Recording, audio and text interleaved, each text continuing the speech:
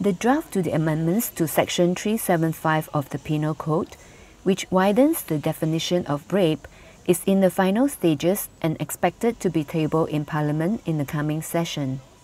Well, actually, I returned to the Attorney General and they have replied to my letter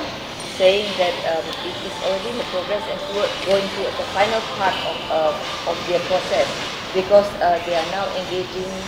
um, in their answer um, early part of June, the first week of June, they were engaging with the medical experts. Minister in the Prime Minister's Department, Nancy Shukri, says In the present era of technology, there are many objects which could be inserted into the vagina. She was referring to the case of a 60 year old man who was acquitted from the charge of raping a teenager. The Court of Appeal on May 7 acquitted the accused as the man had only inserted his finger, which was smeared with semen into the victim's vagina, and that there was no penile penetration.